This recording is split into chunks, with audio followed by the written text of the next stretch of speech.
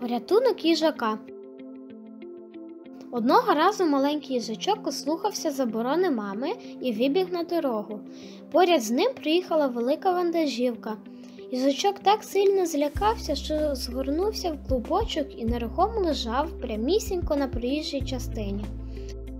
Поряд по тротуару проходила дівчинка Настя. Вона поверталася додому зі школи і побачила їжачка, який лежав прямісінько на дорозі.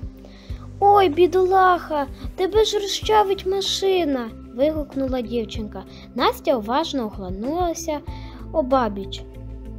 Машин не було. Тоді вона підійшла до їжачка і обережно взяла його. Здогадались чому? Так, адже їжаки дуже колючі. А потім добра рятівниця віднесла їжачка знову до парку, якнайдалі від дороги. Не вибігай більше на дорогу, це небезпечно, насварила дівчинка їжачка. Їжачок висунув свій чорненький ніс і глибоко вдихнув таке знайоме повітря. Навколо пахнуло знайомими гілками та листочками.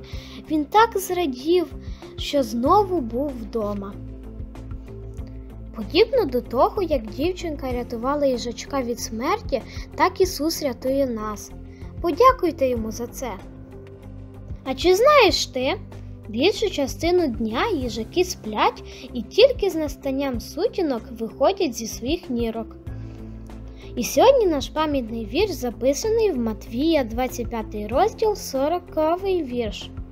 І цар скаже йому відповідь: Істину повідую вам, оскільки ви вчинили це одному з оцих братів моїх менших, то вчинили мені.